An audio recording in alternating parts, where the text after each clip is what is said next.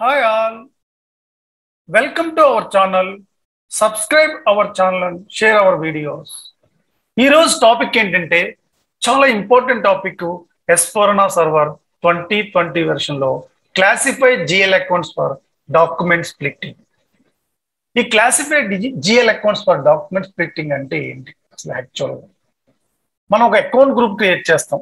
General ledger accounting ప్రాసెస్లో expenses income assets liabilities nature of the business company requirement gathering బట్టి client ఎన్ని account groups ఉన్నాయి? Maybe assets under different groups liabilities under different groups expenses under different groups income under different groups మన requirement gathering బట్టి client ఎన్ని account groups కావాలి? General స్టాండర్డ్గా account groups అంటే assets ఒక అకౌంట్ గ్రూప్ కింద. అసెట్స్ అందరు మళ్ళీ ఫిక్స్డ్ అసెట్స్ కరెంట్ అసెట్స్ చాలా గ్రూప్స్ తీసుకోవచ్చు. Liabilities under different groups expense under administration office miscellaneous different groups income under miscellaneous income interest income dividend different different groups so generally standard ప్రాక్టీస్లో four accounts groups తీసుకున్నాం. Nature of the accounts maybe account group S four హనాలో cash account bank account account group కూడా తీసుకున్నాం. దాన్ని కూడా మనం consider తీసుకుంటాం so ఎన్ని account groups మనం తీసుకున్నాం? దాన్ని బేస్ చేసి అకౌంట్ గ్రూప్స్లో classify GL accounts for document splitting normally A business transactions కైనా జిఎల్ అకౌంట్స్ బేస్ చేసుకుని ఒక జిఎల్ పోస్టింగ్స్ కానీ కస్టమర్స్ ఇన్వాయిస్ కానీ వెండర్ ఇన్వాయిస్ కానీ ఈ డాక్యుమెంట్ స్ప్లిట్టింగ్ యొక్క కేటగిరీ కేటగిరీ మనం మెయింటైన్ చేస్తామండి ఆ డాక్యుమెంట్ స్ప్లిట్టింగ్లో మనం ఏదైతే అకౌంట్స్ గ్రూప్ తీసుకున్నామో దానికి GL accounts wise assets balance sheet liabilities balance sheet expenses expense account income income account cash bank cash bank account assign చేయకపోతే మనం ఏ జిఎల్ పోస్టింగ్స్ జరిగినా కస్టమర్ ఇన్వాయిస్ జరిగినా వెండర్ ఇన్వాయిస్ జరిగినా item category is not assigned అని error చూపెడుతుందండి. Trouble షూటింగ్లో error compulsory వస్తుంది. డాక్యుమెంట్ పోస్ట్ అవ్వదు. డాక్యుమెంట్ సేవ్ అవ్వదు. అందుకు మనం ఎస్ఐపి ఎస్పిఆర్ఓ ఐఎంజి స్క్రీన్లో ఈ డాక్యుమెంట్ స్ప్లిట్టింగ్ కన్ఫిగరేషన్ ఎక్కడ చేయాలని క్లియర్గా మీకు ఎక్స్ప్లెయిన్ చేస్తాను. ఈ నార్మల్ డాక్యుమెంట్ స్ప్లిట్టింగ్లో రెవెన్యూ అకౌంట్ ఉంటుంది ఎక్స్పెన్స్ అకౌంట్ ఉంటుంది బ్యాలెన్స్ షీట్ అదే liabilities assets and cash bank account కూడా ఉంటుంది. మామూలుగా ఎస్ ఫోర్ హనా సర్వర్లో ఈసీసీలో cash bank account separate maintain చేసేవారు కాదు. S four HANA సర్వర్లో cash bank account separate maintain చేసేవారు. దానికోసం మనం అకౌంట్ గ్రూప్లో క్యాష్ బ్యాంక్ అకౌంట్ని సెపరేట్ గ్రూప్ కింద ట్రీట్ చేస్తే ఇక్కడ కూడా మనం మెయింటైన్ చేసుకోవచ్చు. సో మనం డాక్యుమెంట్ స్ప్లిట్టింగ్ ఎందుకంటే how the individual doc line items salaries posting చేస్తాం.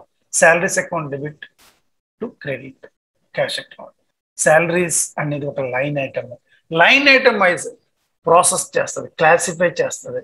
అదే document splitting when you do the item category determine the account number when you do the postings of the GL customer invoice vendor invoices అన్ని కూడా classify చేస్తుందండి item category అనేది. ఆ item category అంటే ఏంటంటే యాక్చువల్గా GL assets balance sheet liabilities expenses expenses group income income group compulsory మనం ఎస్పిఆర్ఓలో ఒక ఐఎంజీ పాత్రలో మనం కన్ఫిగర్ చేసుకున్నప్పుడు కంపల్సరీ ఐటమ్ కేటగిరీ అనే యాక్టివిటీస్ మనం అసైన్ చేసుకోవాలి. చేసుకోకపోతే జిఎల్ పోస్టింగ్ జరిగినప్పుడు కానీ కస్టమర్ వెండర్ ఇన్వాయిస్ ఏ పోస్టింగ్ చేసినా ట్రబుల్ షీటింగ్ ఎర్రర్స్ వస్తాయండి. డాక్యుమెంట్స్ సేవ్ అవ్వదు. మనం సర్వర్లో ఎక్కడ కన్ఫిగర్ చేస్తాం? ఎస్పీఆర్ఓలో చేస్తామండి. ఎస్పీఆర్ఓలో ఎస్పీఆర్ఓలో SP first normally account group మనం ఎన్ని అకౌంట్ గ్రూప్స్ మనం డిఫరెంట్ డిఫరెంట్ అకౌంట్ ఎక్కడ మెయింటైన్ చేసాం? Normally transaction code generally check చేసుకోండి. OB D four suppose example. OB D four. ఈ ఓబీ డి ఫోర్లో టెస్ట్ క్లయింట్ మేబీ నా chart of account suppose any chart of account. ఒక example my chart of account is testing chart of account suppose.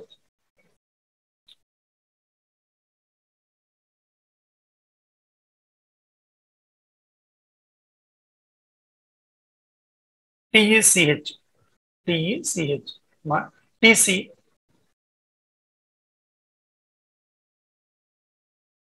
charter account one second one second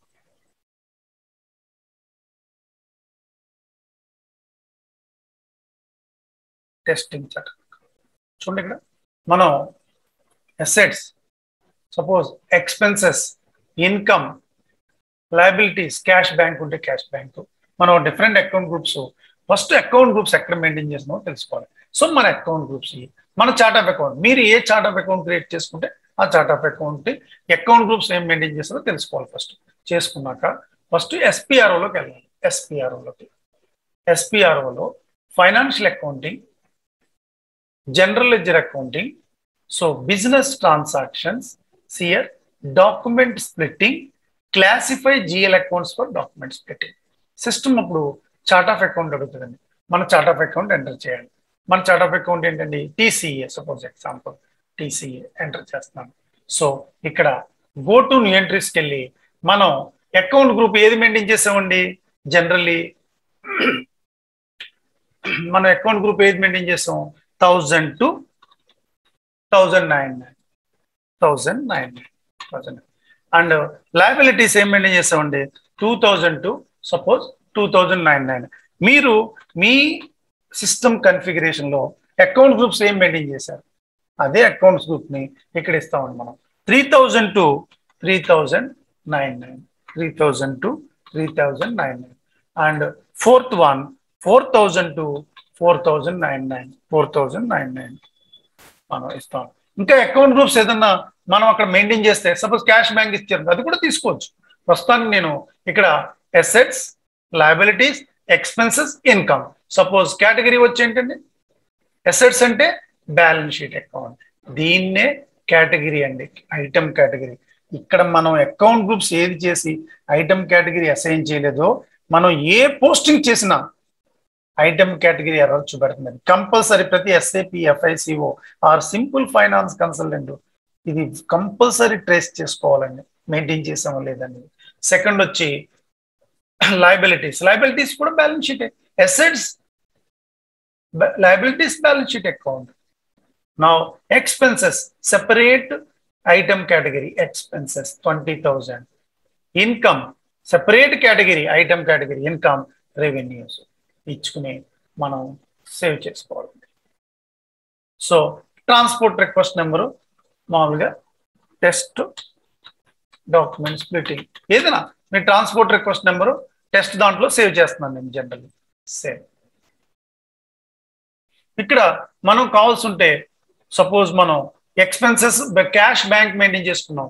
Cash bank account group maintain చేస్తే కనుక but S four normally house బ్యాంక్లో cash bank account సెపరేట్గా maintain చేస్తారు. చేసుకోవాలంటే అది కూడా చేసుకోవచ్చు ఇక్కడ. నార్మల్లీ నేను జనరల్ ఎక్స్ప్లెయిన్ చేస్తున్నప్పుడు expenses income assets liabilities cash bank ఉంటే క్యాష్ బ్యాంక్ మెయింటైన్ చేసుకోవచ్చు.